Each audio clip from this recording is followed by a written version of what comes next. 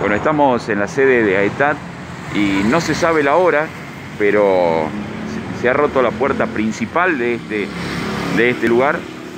Eh, no han llegado todavía los dirigentes, este, se ven dos piedras que han arrojado y con las cuales han roto el blindex de entrada. Esto es en la calle San Juan 1379, reitero, es en la sede de AETAT. No se sabe si esto tendrá connotaciones o no con el paro de colectivo que se está realizando, pero reitero, eh, no han llegado todavía las autoridades, pero bueno, eh, han roto eh, el vidrio de entrada de la sede de AETAT.